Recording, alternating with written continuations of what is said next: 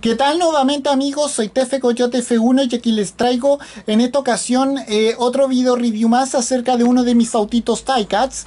Y en esta ocasión vamos a revisar otro monoplaza de Fórmula 1 y en esta ocasión se trata de un Fórmula 1 del año anterior, o sea 2021. Y bueno, en esta ocasión se trata de un eh, monoplaza del equipo Red Bull Racing que primero fue de la temporada 2020 y después de la temporada anterior 2021 y bueno eh, este también lo compré como al igual que el Fórmula 1 de la escudería Mercedes a control remoto también los compré en una eh, en la juguetería y pista de carrera de autitos a control remoto autopista 84 eh, hace, ya, hace ya casi una semana atrás. Y bueno, en esta ocasión eh, el video review es para el eh, Red Bull de Fórmula 1 RB16V o como se, como se conoció en el año 2020, RB16 número 11 del piloto Sergio Checo Pérez, versión Buraco. Bueno, acá pueden ver a este, a este autito, como yo ya le dije, este es un Red Bull. Eh, esto es un Red Bull modelo de Fórmula 1 modelo eh, RB16V con motor Honda precisamente. Y además, como yo ya le dije, este es el número, este es el, este es el monoplaza número 11 del piloto eh, Sergio Pérez, o como se le conoce a este piloto mexicano Checo Pérez. Y bueno, si vamos acá a Wikipedia, eh, vamos a encontrar estos datos. Bueno, como todos sabemos, utiliza, eh, utiliza un motor eh, Honda modelo RA621H. El anterior era un RA620H. posee turbo, es tipo V6 y este y tiene como cilindrada 1,6 litros. Como todos sabemos, bueno, el palmarés, eh, bueno, recordemos que no solamente fue conducido por Sergio Checo Pérez, también fue conducido por el neerlandés Max Verstappen. Y además, con, e, y en un monoplaza como este, Max Verstappen obtuvo el año anterior, 2021, su primer título. Y bueno, eh, también decirles que eh, el, el, tailandés Alex Albon también manejó este modelo. Eh, pero en el año 2020 eh, y además ahí obtuvo eh, ahí obtuvo precisamente en ese año dos podios en los grandes premios en los grandes premios de la Toscana y en el Gran Premio de Sakir de ese año. Bueno corrió 39 carreras obtuvo 13 victorias obtuvo 36 presencias en el podio 11 eh, pole position, 11 vueltas rápidas, no tuvo ningún campeonato constructores y obtuvo un solo campeonato de pilotos, como yo ya dije, de, la mano del neerlandés Max Verstappen en el año 2021 y bueno. Y este fue el último eh, monoplaza que usó motor Honda del equipo Red Bull. Bueno, aunque eso sí, eh, hoy en día, hoy en día Todavía siguen usando el motor Honda, pero bajo, bajo eh, la denominación Red Bull Powertrains, eh, precisamente. Eh, aunque Honda sigue cooperando con el desarrollo del motor de, del equipo Red Bull de este año. Bueno, recordemos que tendrán esa colaboración hasta el año 2025. Cuando después en el año 2026 entre una nueva eh, reglamentación de motores, eh, precisamente, y bueno. Bueno, esos son todos los datos con respecto a este modelo y bueno. Eh, bueno, acá pueden verlo, podemos ver que bueno, el color que predomina en este, en este monoplaza es el color azul. Podemos ver que tiene también detalles en color amarillo y en color rojo. Bueno, podemos ver que, vamos a ver que puede rodar perfectamente, puede rodar libremente podemos ver que, bueno, podemos ver que entre sus detalles, bueno, podemos ver que eh, tiene los logotipos de Pirelli en los, em, en los neumáticos. que son de, que como pueden ver son de hule, son de caucho, por lo tanto son blandos. Bueno, podemos ver que ahí tiene el logotipo de Mobile One, una marca eh, que pertenece a ExxonMobil, al igual que eso, que también es el auspiciador de, de, Red Bull Racing hasta hoy en día. Podemos ver que tiene eh, el logotipo de Red Bull en el, en el alerón eh, frontal. Bueno, podemos ver también que ahí está en la trompa del coche el logo, el, logo de la marca Honda. Bueno, podemos ver que acá tiene más logos. Por ejemplo, tiene el logotipo, otro logotipo de Honda, otro logo, un logotipo de de Tag Heuer, que es una marca de, eh, de, relojes suiza muy vinculada al automovilismo. Podemos ver que ahí tiene el número 11 de Checo Pérez y ahí podemos ver que eh, ahí tiene el logotipo de Red Bull más eh, dos logotipos de la marca de ropa deportiva Puma y eh, dos logotipos de Honda también pequeños y ahí podemos ver que tiene eh, un logotipo de N que quiere decir neutro precisamente. Bueno podemos ver que tiene el logotipo de Oracle que es una, una empresa de software de la nube. Podemos ver que tiene el logotipo de Tesos que es una marca de criptomonedas.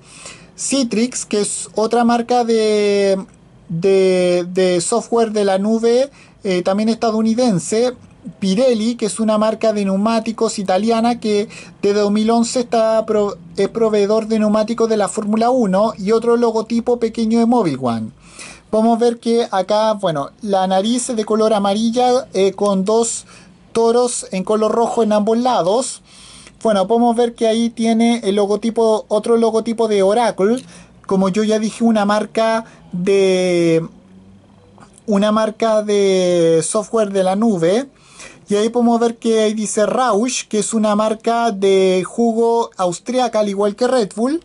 Bueno, podemos ver que ahí tiene, eh, ahí en el alerón eh, lateral, en los alerones laterales tiene otro logotipo pequeño de la marca deportiva de la marca ropa deportiva Puma y otro logotipo de Tesos, una, como yo ya dije, una marca, una marca de criptomonedas.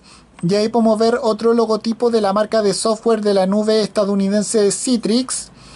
Eh, podemos ver que, bueno, podemos ver que la tapa del motor está eh, también el famoso toro de la marca de las bebidas energéticas austríaca Red Bull y acá otro logotipo Red Bull. Acá podemos ver que dice, eh, tiene logotipo de Siemens, una marca de, electrónica alemana. Eh, Hewlett Packard Enterprise, una marca eh, de computadores. Bueno, una marca de productos electrónicos estadounidense. Y acá podemos ver que dice Honda Hybrid. Y acá podemos ver que dice el número 11 del piloto Checo Pérez. Bueno, y acá podemos ver que eh, tiene. Acá podemos ver que tiene el logotipo de Claro, que es una marca de, telefonía móvil eh, mexicana, que se, es el patrocinador.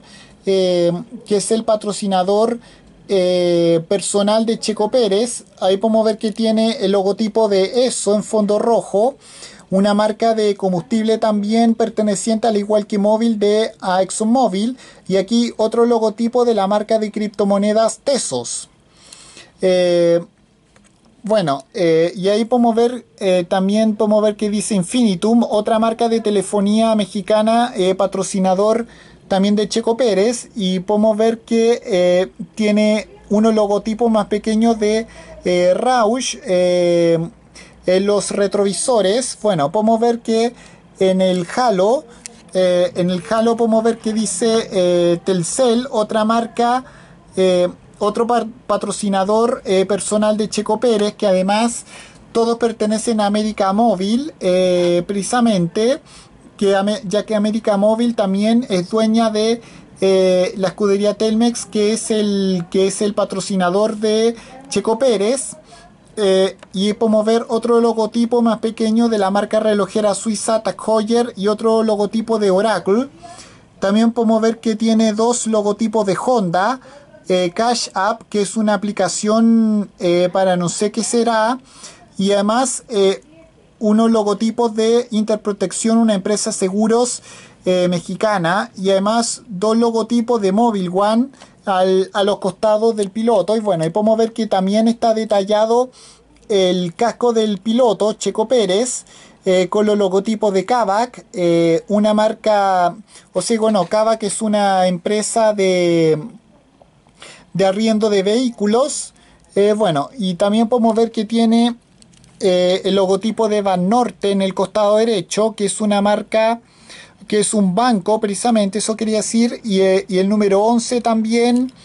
Bueno, muy, muy bonito este, este autito de Fórmula 1 y bueno, bueno, podemos ver que las ruedas de mi, como yo ya dije, las ruedas de mi, de mi Fórmula 1 hacen que se deslice libremente.